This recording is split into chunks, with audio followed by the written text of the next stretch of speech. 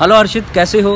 I wish you a very very happy birthday अपने जन्मदिन को बहुत अच्छे से मनाओ सेलिब्रेट करो, लोगों में खुशियाँ बांटो, खुद भी खुश रहो, और हर साल कोशिश करूँगा कि फिर कभी अगर मैं कानपुर आया तो मैं तुम्हारे बर्थडे में ज़रूर शामिल होऊँगा एंड विश यू अगेन खुश रहो।